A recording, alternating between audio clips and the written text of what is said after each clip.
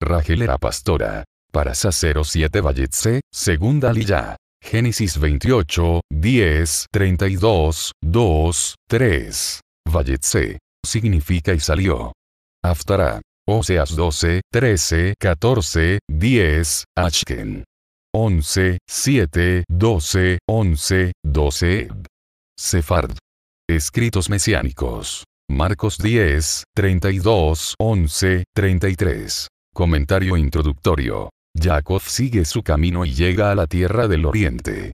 Allí encuentra un pozo con tres rebaños, esperando que otros rebaños vengan para poder quitar la piedra de la boca del pozo. Jacob pregunta por Labán y en ese momento viene su hija Rachel con un rebaño. Entonces Jacob quita la piedra del pozo y le da de beber al rebaño de su tío. Luego besa a su prima y alza la voz y llora. Le cuenta a Rachel quién es y ella corre a su padre para contárselo. Labán sale corriendo, abraza a Jacob y le trae a su casa. Después de un mes Labán le pide que estipule un sueldo para su trabajo. Lectura de la Torah segunda Aliyah, Bereshit 29, 1, 17. Y Jacob comenzó, y fue a la tierra del este a Labán, el hijo de Betuel el Aram y el hermano de Ripka, madre de Jacob y Esaf. Mientras miró vio un pozo en el campo. Y había tres rebaños de ovejas acostados allí junto a él. Porque ellos daban a beber a las ovejas de ese pozo.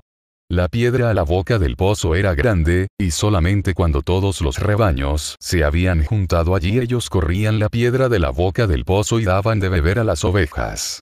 Entonces ponían la piedra de regreso en su lugar sobre la boca del pozo. Jacob les dijo a ellos, Mis hermanos, ¿de dónde son ustedes? Ellos respondieron, Somos de Arán. Él les preguntó, ¿Conocen ustedes a Labán el hijo nieto de Nahor? Ellos dijeron, Lo conocemos. Él les preguntó, ¿van las cosas bien con él? Sí, ellos respondieron, y aquí viene su hija Rachel con las ovejas. Él dijo, Miren, todavía hay suficiente luz del día. Y no es hora de llevar los animales a casa, así que den de beber a las ovejas, entonces se van, y las ponen a pacer. Ellos respondieron, no podemos, no hasta que los rebaños se hayan juntado, y ellos rueden la piedra de la boca del pozo. Entonces daremos de beber a las ovejas. Mientras él todavía hablaba con ellos, Rachel la hija de Labán vino con las ovejas de su padre, porque ella era quien alimentaba las ovejas de su padre. Cuando Jacob vio a Rachel la hija de Labán el hermano de su madre, y las ovejas de Labán el hermano de su madre, Jacob subió y rodó la piedra de la boca del pozo y le dio de beber las ovejas de Labán el hermano de su madre. Jacob besó a Rachel y sollozó en voz alta. Jacob le dijo a Rachel que él era pariente de su padre, y que él era el hijo de Ripka. Y ella corrió y se lo reportó a su padre de acuerdo a estas palabras. Cuando Labán oyó las noticias de Jacob el hijo de su hermana, él corrió a conocerlo, lo abrazó y lo besó, y lo trajo a su casa. Jacob le dijo a Labán todo lo que había pasado. Labán le dijo, Tú eres ciertamente mi propia carne y sangre. Después que Jacob se había quedado con él por un mes entero, Labán le dijo, ¿Por qué has de trabajar para mí por nada, solo porque tú eres mi pariente? Dime cuánto te debo pagar. Ahora bien, Labán tenía dos hijas. El nombre de la mayor era Lea, y el nombre de la menor era Rachel. Los ojos de Lea eran débiles. Pero Rachel era bien parecida, con bellas facciones. Comentario segunda Aliyah, Bereshit 29, 1, 17. 29, 6. Ve su hija Rachel viene con las ovejas. Rachel significa oveja. En la época fue común que los hijos de dedicaban a estudiar y las hijas a cuidar los rebaños. 29, 13 Y sucedió que cuando Labán oyó las noticias de Jacob, hijo de su hermana, corrió a su encuentro, lo abrazó, lo besó y lo trajo a su casa. Entonces él contó a Labán todas estas cosas. Labán tenía el buen recuerdo de la visita de Eliezer, el siervo de Abraham, que había llegado con diez camellos cargados de riquezas.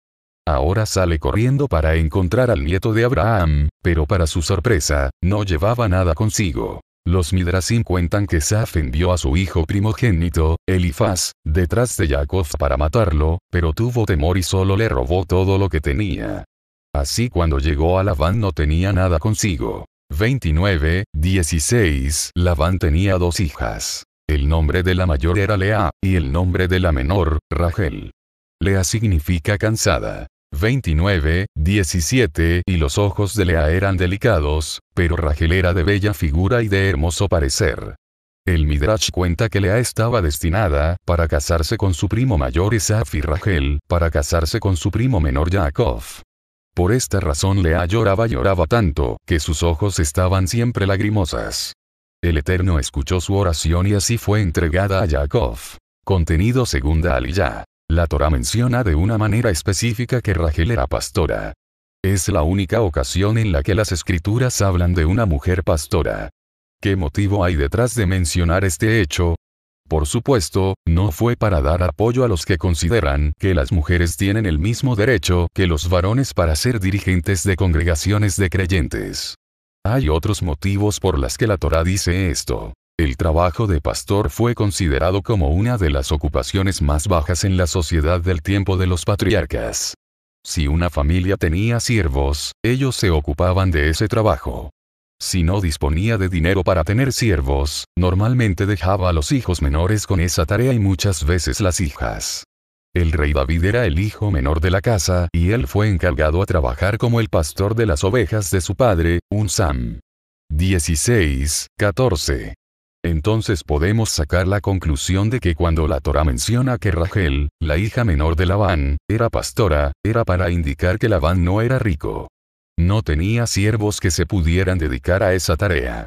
Más adelante Jacob confirma que Labán no tenía mucho cuando él vino, 30, 30.